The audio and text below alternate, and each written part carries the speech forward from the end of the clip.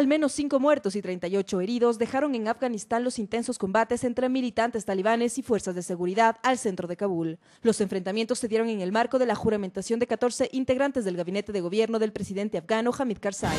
Luego de 30 años de prisión fue liberado el terrorista turco Ali Agca, de 52 años, quien en 1981 fue encarcelado tras disparar contra el Papa Juan Pablo II. Ali Agca será sometido a un examen médico para determinar si es apto para realizar el servicio militar que todavía no cumple. Tres personas murieron en un hospital en Ucrania tras la explosión de un tanque de oxígeno. Se calcula que al momento del siniestro 22 personas se encontraban en la casa de salud. Persiste la cifra de desempleo en Estados Unidos. Los datos recientes revelados por el Departamento de Trabajo muestran que desde el mes de diciembre pasado, más de 85 mil personas perdieron sus empleos, mientras que los índices de desocupación se mantuvieron en un 10%. El presidente de Venezuela, Hugo Chávez, ordenó la expropiación de la cadena comercial Éxito por haber incurrido en el recargo de precios. El presidente de Venezuela, Hugo Chávez, ordenó la expropiación de la cadena comercial franco-colombiana Éxito por haber incurrido en el recargo de precios. La medida se da luego de varias sanciones y violación de las leyes venezolanas por parte de la cadena comercial.